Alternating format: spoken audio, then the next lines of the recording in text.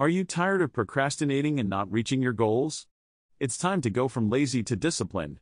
First, set clear and specific goals. Write them down and break them into smaller tasks. This will make them more achievable. Next, create a routine that includes time for your goals. Consistency is key to building discipline. Eliminate distractions and temptations that prevent you from staying focused. Stay committed to your goals. Reward yourself for small victories along the way. This will motivate you to keep going. Remember, discipline is a skill that can be developed over time. Stay patient and keep pushing yourself. With dedication and perseverance, you can turn your lazy habits into disciplined actions that lead to success.